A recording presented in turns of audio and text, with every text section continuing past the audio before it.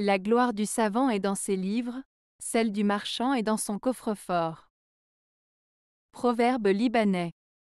Ce proverbe libanais suggère que différentes professions ont des valeurs et des objectifs différents. Pour un savant, sa renommée et sa gloire viennent de ses travaux académiques et de ses contributions intellectuelles. En revanche, pour un marchand, sa réussite est souvent mesurée par sa richesse et sa capacité à accumuler des biens matériels, symbolisés ici par le coffre-fort. Le proverbe souligne donc que les réussites et les accomplissements peuvent être très différents selon les choix de carrière et les priorités des individus.